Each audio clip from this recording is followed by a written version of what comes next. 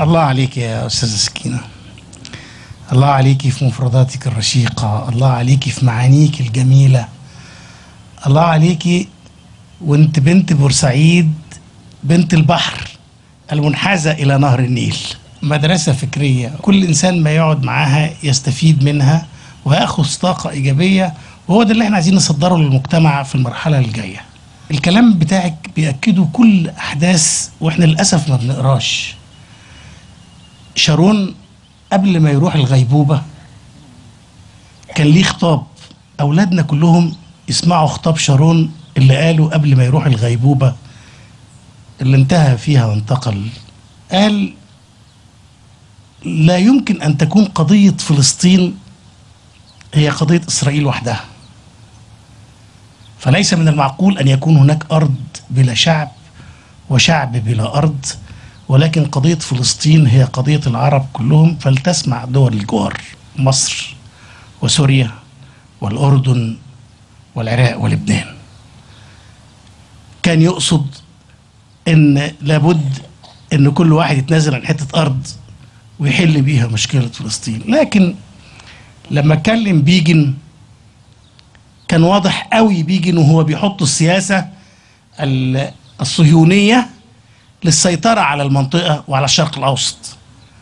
وبيجن اعلنها بصراحة وقال بالحرف الواحد قال لما بيوروا له الأسلحة النووية اللي بدأ إسرائيل تنشئ القاعدة النووية بتاعتها قال لهم لأ مش النووي هو اللي هيحمي إسرائيل.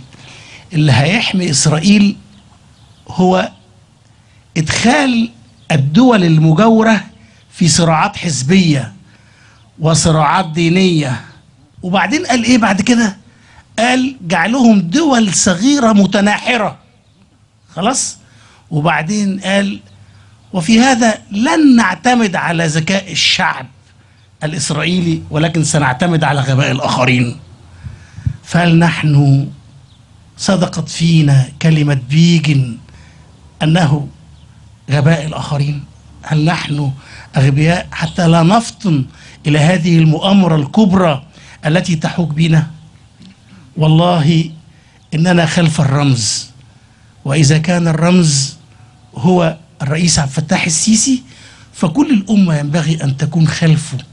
كل الأمة ينبغي أن تتوحد في هذه المرحلة حتى تواجه هذا الخطر الجاسم. وأنا مع الأستاذة سكينة فؤاد. ليس خطر إلى الكنائس فقط لكنه كان من قبل في المساجد أيضا. وقبل هذا وبعد هذا لقد رحلت أسر وما يحدث في سينا شاهد شاهد عيان.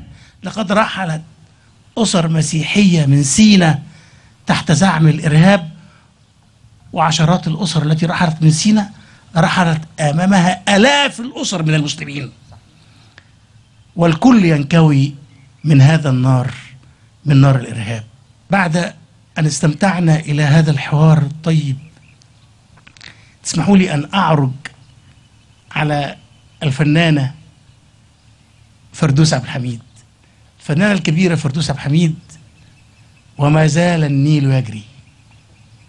وما زال النيل يجري وعلى فكرة بالصدفة هذه بنت بورسعيد المنحازة إلى النيل وهذه بنت البحر الأبيض المتوسط يعني الاثنين ولاد البحر الأبيض واحدة بنت اسكندرية وواحدة بنت بورسعيد والاثنين انحيازهم إلى نهر النيل وهذا شيء يسلج الصدر ويقر العين على أن النيل فعلا بعث للحضارة وأن النيل فعلا بعث للحياة الجديدة التي نستشرف فيها كلنا مستقبل فاضل. آه تسع أفلام 16 مسلسل. الأستاذ محمد فاضل عمره ما كتب إلا برسالة.